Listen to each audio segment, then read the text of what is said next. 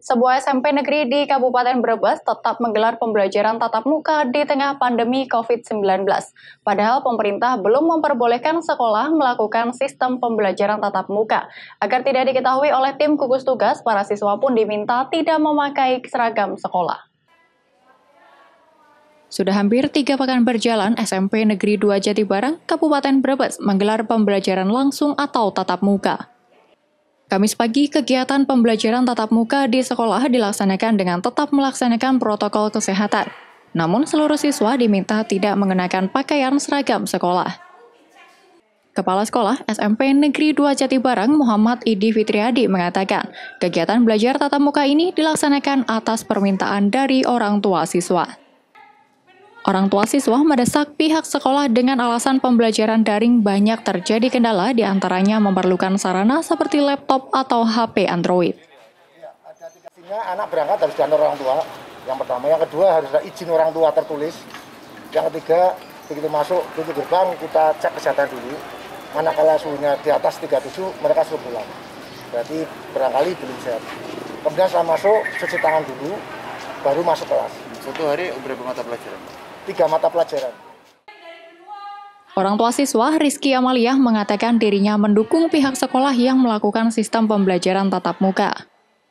Menurutnya, sistem pembelajaran daring atau online cukup mempersulit selain harus memiliki perangkat, kadang juga terkendala jaringan internet atau sinyal. Apa dibagi dua, dua apa di agar jaga jarak. Ya, jaga jarak aja pakai masker. Berarti protokol kesehatan tetap dilaksanakan? Iya, tetap dilaksanakan. Tak hanya orang tua, sejumlah siswa mengaku senang dengan pembelajaran tatap muka. Siswa mengaku dengan belajar tatap muka, materi yang diberikan oleh guru lebih mudah dipahami. Menurut siswa, sistem pembelajaran daring cukup membosankan karena tidak bisa interaksi dengan teman-temannya. Lebih enak di sekolah. Alasannya kenapa, Dek? Di sekolah lebih enak, lebih nyaman daripada di rumah. Pihak sekolah meminta orang tua siswa untuk membuat surat pernyataan menginginkan anaknya dengan mengikuti pembelajaran tatap muka. Surat pernyataan tersebut lengkap dengan tanda tangan orang tua bermaterai. Sistem pembelajaran tatap muka yang dilakukan di SMP Negeri 2 Jatibarang tetap dengan protokol kesehatan yang ketat.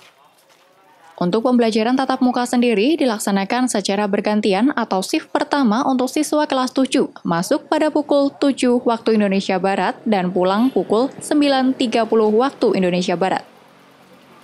Kelas 8 masuk pukul 8 waktu Indonesia Barat, pulang pukul 10.30 waktu Indonesia Barat. Dan siswa kelas 9 masuk pukul 8.30 waktu Indonesia Barat dan pulang pukul 11.30 waktu Indonesia Barat. Yuli Hardianto, Kompas TV, Brebes.